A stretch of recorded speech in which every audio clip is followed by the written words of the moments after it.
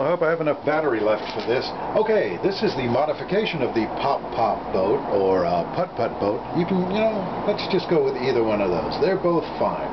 You'll notice that I have a birthday candle and a fairly common drinking straw. The two go together really well. Look at that. Now, I built a little uh, flange here on the end. I'm going to, I, I, you know, just stuck that in the hole there. Now, let's see, get some flame action going. And as soon as that, let's see, we can get some putt-putt, our pop-pop action going. And on cue, there it goes. Uh, I think it's a little off center, but it still works fairly well. Look at how fast it cranked up, too. It really lights the, uh, the birthday candles. Okay, oh, and look, I'm using the Sherry's tin. These are, these are really light. Come to a halt.